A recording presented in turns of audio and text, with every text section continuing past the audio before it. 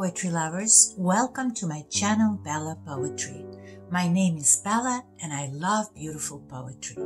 In this segment, which is segment number 11 of our first series of poetry called the uh, Female Poets of the 19th Century, uh, we will discuss a very scandalous and notorious life of Lady Caroline Lamb.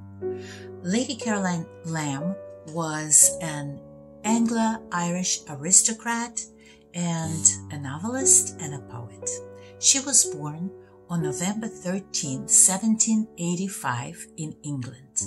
Her father was Earl of um, Bessborough and her mother was the Countess of Bessborough. And uh, the parents uh, did not have a very happy marriage. Caroline was their only child, and they argued a lot. They argued constantly, and they paid very little attention to their only daughter. And no wonder that Caroline became a high strung and um, a child that had no boundaries and was often out of control. In the first years of her life, Carolyn spent a lot of time abroad with her parents. She suffered from intestinal worms, and one time she almost died from this condition. So the parents took her to France, Italy, Germany to look for new treatments, and after she got better, they returned to England. Caroline was very well educated. She attended the school in Hans School in Knightsbridge, England, and her teacher was famous Frances Rowden, who was a poetess, a published poetess, and she was known for inspiring her students to become poets. So that kind of was a background for Carolyn, the foundation uh, for her becoming a novelist and a poet in her own right. So unfortunately, Caroline could not stay at school for a long time. She didn't get along with other children. She didn't listen to her teachers. And finally, the parents were advised to keep her at home. And they said, you know, she can be controlled in a restricted environment. So maybe she'll do better at home where she has no boundaries. And the father hired a governess who was supposed to keep an eye on her and make sure that she doesn't get into trouble. Well, Caroline, from very early age, she started to write poetry and prose. She spoke French, Italian, Greek, Latin. She enjoyed drama and she was very good at drawing and playing different instruments. So her skills and talents were quite versatile. When she became a teenager, she kind of changed her whole behavior and she became a devout Christian and started to learn, uh, read and learn the Bible. And in June 1805, she was introduced to a young man whose name was William Lamb. He was also from aristocratic family. His mother and father were Lady and Lord of Melbourne. And uh, when they met, they fell in love. It was a love match, although it, they met by introduction. Caroline was only 19 years old and she married William. Um, they fell in love. So everything was good until the first wedding night. Uh, Caroline became very depressed after that and she refused to sleep for a while with William because she didn't like his sexual practices in the bedroom. Uh, she was very innocent, she didn't have any experience, and she didn't think that what he was doing was normal. She considered it a sin. But in spite of all this, she got pregnant and in 1806, she gave birth to a premature daughter who passed away uh, very soon after her birth. And in 1807, she gave birth to her son, whose name was Augustus. She loved the baby, but he was born unfortunately with mental disability. Uh, today, he would probably be di diagnosed with autism. Uh, the aristocrats of that time, if there was something wrong with a child, they would commit him to an institution and pay a lot of money for other people to take care of their children. But um, Caroline and William decided to keep Augustus at home and raise him themselves. And uh, Augustus actually outlived his mother by eight years. He died in um, 1836. So, uh, Caroline, we have this situation where her first and her third pregnancy ended in premature birth and death of her two daughters. Her middle child, Augustus, had mental disability. It's obviously affected her mental and emotional health. And on top of everything, William uh, became a politician. He was traveling a lot. He was not in the house a lot. So, um, and in addition, his brothers and sisters and his mother, who actually introduced William and Caroline, did not like Caroline at all. They resented her. They called her a little beast and they wanted William to divorce her. So this was kind of a foundation for what happened in 1812. In 1812, Lady Caroline Lamb read a book by Lord Byron, Childe Harold, and she became obsessed with the poet. Lord Byron at that time was already quite famous and women were all after him. He was like this teenage idol. He was 24 years old, but women were all around, all over him and he was an attractive man, although he had a club foot and he bit his nails, but uh, he was very attractive. And Caroline uh, became obsessed with Lord Byron. They, he actually described her uh, very precisely, and he managed to depict her conflicted personality. He said that she was the cleverest, most agreeable, absurd, amiable, perplexing, dangerous, fascinating little being. And she described him as being mad, bad, and very dangerous. And he was, because he was a philanderer, he had many mistresses, and um, he was not loyal. I would I would say that he was manipulative in his romantic relationship and relationships and very controlling. They made it a society affair. Uh, Caroline and Byron were equal in wit. They had common interests. They both loved dogs and horses and literature and music and poetry. So they had a lot of things to discuss. Uh, he was, as a lover, he was very demanding and controlling. He wanted her to admit that she loved him more than she loved William, and she wouldn't, which made him crazy. Uh, Caroline was obsessed and in love with Lord Byron, but she really loved her husband in spite of all the difficulties that they were experiencing at that time. So they had a very torrid five month affair, but then Lord Byron found himself in debt and he wanted to marry somebody rich who will pay his debts off. So he dropped Caroline very callously and uh, Caroline went uh, crazy. She was desperate. She was suffering and uh, she didn't hide it, causing embarrassment to her husband, to his family, to her family. Uh, one time she forged his signature she wrote a letter to his publisher, forged his signature in order to get his portrait. She says, if I can't have him, then um, at least I can have his portrait. One time she dressed up as a page boy. She was tiny and small, and uh, she dressed up as a page boy and sneaked into his room to have sex with him. He tried to dissuade her, telling her that he was not a good man, that he had an affair, incestuous affair with his half sister Augusta, and that he had sex with young men in his hmm. school when he went to school, which was actually true.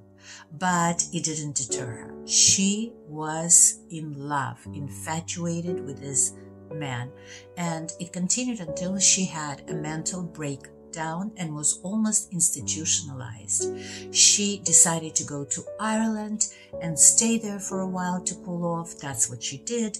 In 1813, she returned to London and she attended a ball in honor of Duke Wellington.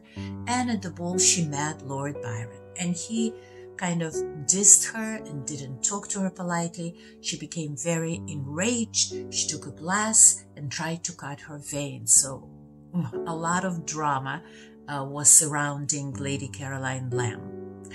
Um, and um, eventually, she lost all control and all pride of uh, all pride that she had.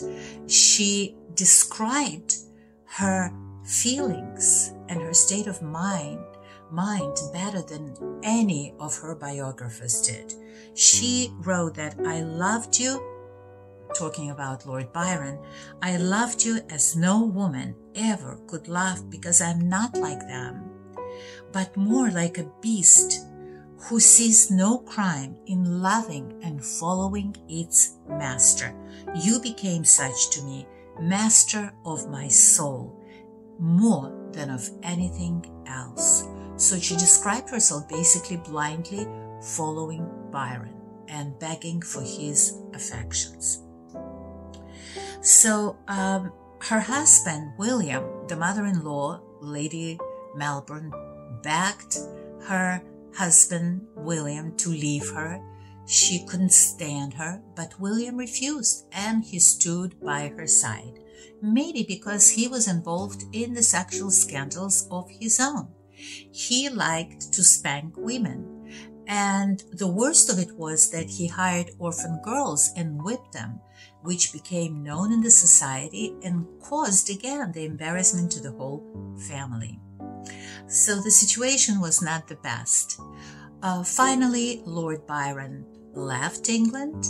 Caroline was devastated and in 1816 she wrote her first novel, which was called Glenarvon. It was a Gothic novel, and it described the affair that she had with Lord Byron in detail.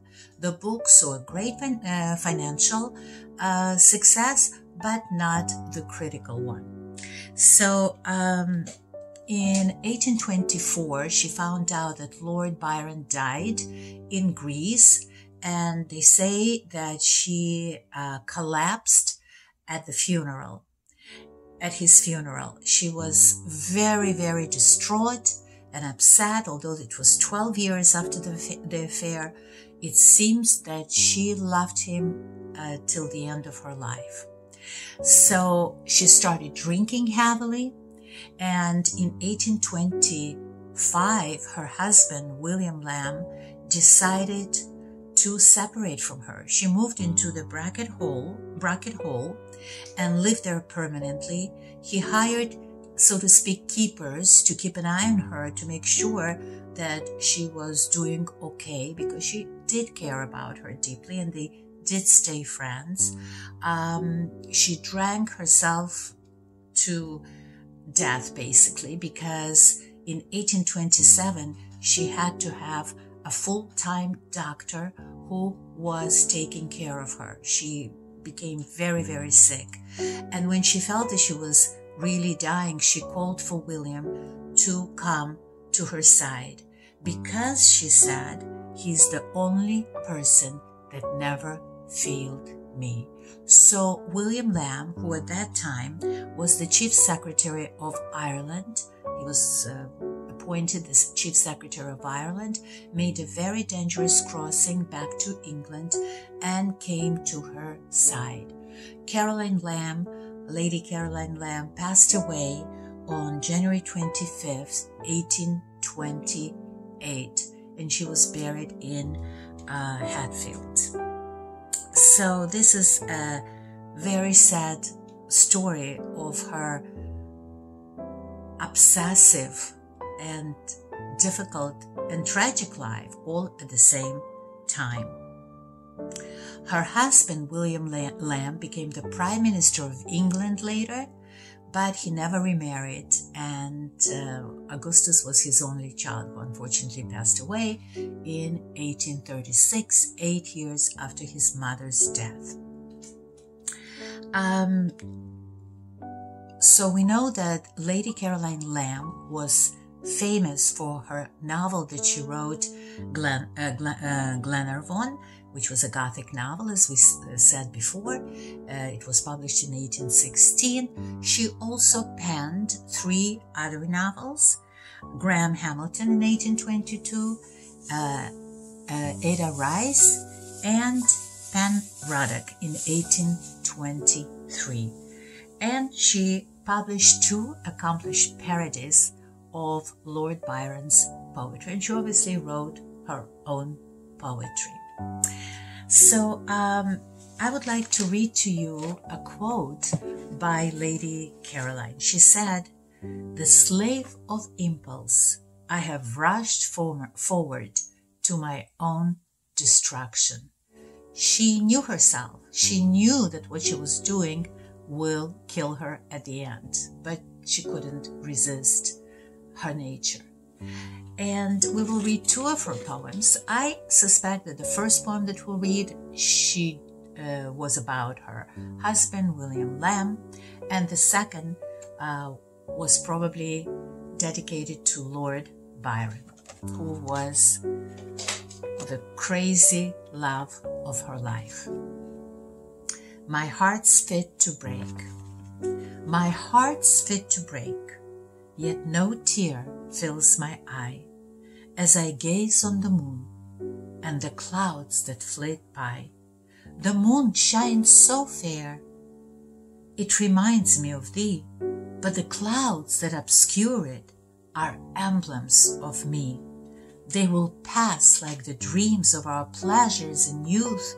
They will pass like the promise of honor and truth. And bright thou shalt shine when the shadows are gone, all radiant, serene, unobscured, but alone. Meaning that she compares herself to the dark shadows and the dark clouds, and she says, When I am gone, you're going to be happier, although you'll be alone.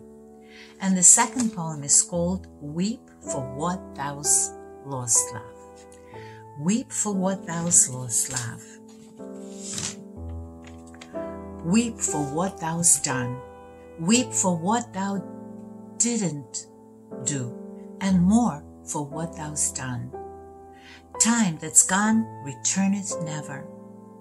Keen repining lasteth ever. Heart that pierced refuses gladness. Melancholy causes sadness.